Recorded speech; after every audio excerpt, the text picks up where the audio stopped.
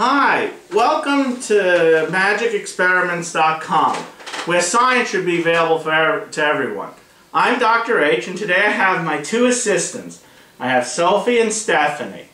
Today we're going to do an experiment that obviously the whole family can do at home, and since it's the Christmas season, hopefully you can see we're going to do something for Christmas. So, what we're going to do today is we're going to do an example of states of matter. States of matter is liquid, solid, and gas. Exactly.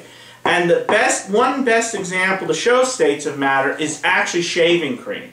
So as you see, when I spray the shaving cream into the cup, you see how it grows and pops up?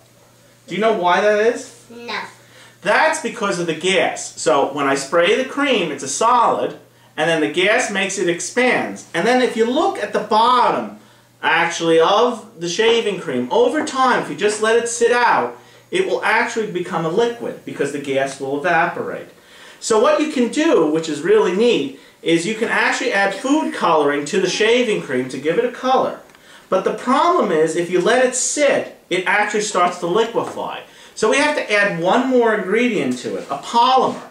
And if you're interested, why don't you send me or check us out at magicexperiments.com and find out. So here's another example of what Stephanie drew. Steph, what did you draw? A Christmas tree. Look at the Christmas tree. So if you're interested, why don't you Check us out at magicexperiments.com.